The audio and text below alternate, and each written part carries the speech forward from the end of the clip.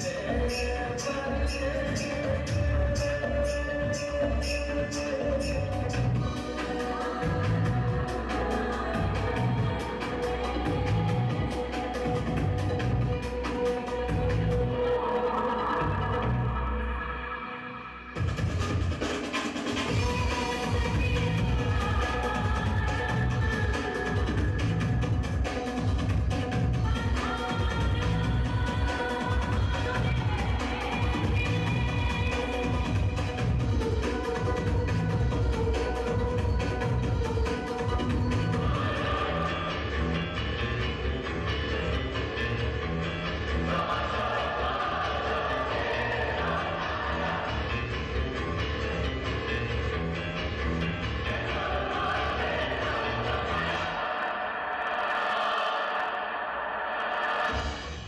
वैसे तो हर एक show is different from one another पर ये पहली बार है कि मैंने इंडियन कपड़ा पहना है तो वो ही सबसे आई थिंक डिफरेंट चीज़ है।